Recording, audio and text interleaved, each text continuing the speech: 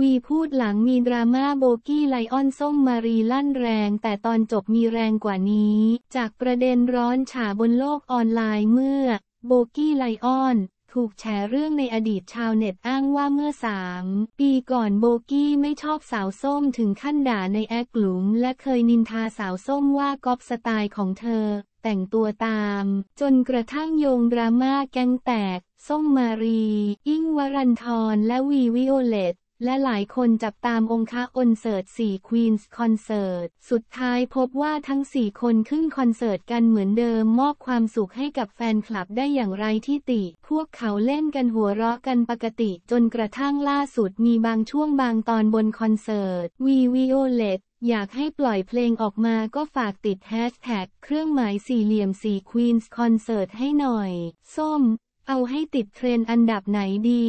วี เอาให้ติดเทรนด์อันดับหนึ่งแต่ด้วยเรื่องคอนเสิร์ตนะ โบกี้ส้ม แรง โบกี้ ขอให้คอนเสิร์ตแฮชแท็กนี้ช่วยมาแซงแฮชแท็กกูสักที ทั้งสี่คนก็ได้โผกอดกันด้วยรอยยิ้มและเสียงหัวเราะ